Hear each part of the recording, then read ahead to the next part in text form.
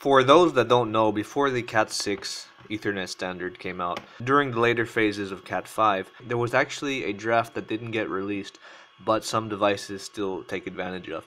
So this won't work for everybody, but if it does, you are one of the lucky ones. The technique is referred to as quad coupling. What it essentially does is it, it uses the physical cabling of four Ethernet connections to get a much faster speed than you could individually out of those four.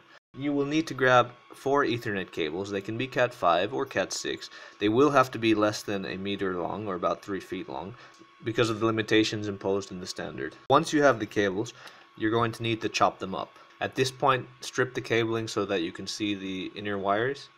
You're going to want to do this to all the cables and then you're also going to want to strip the individual wires.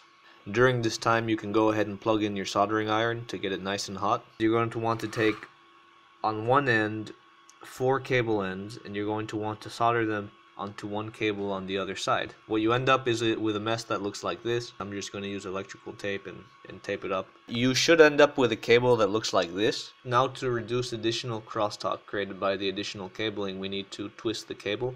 Now at this point we can go ahead and just try it out and see if it works. Plug in the four ends into your switch or your router, whichever one you're using depending on your network. On the other end we can go ahead and plug the single ethernet cable into the laptop. So I, I just want to go on to speed test and see what type of speeds we get. Okay, let's click on uh, begin test. Check this out. Uh, I just wanted to show you the speeds that I got uh, and as you can see the ping is down to 3 milliseconds. The, the download speed has improved a lot. We're looking at about 100 gigabit ethernet right now. And as for upload speeds, um, you know, that's one of the disadvantages because of the single cable going into the computer, it's a lot more difficult to send data than to receive it. But that's the trade-off you get.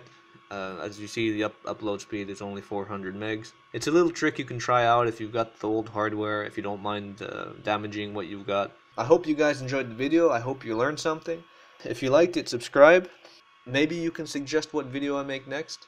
If, if for some reason your connection is not working and you are having problems, you might also want to try to shield your cabling, and I'll show you that in the next video.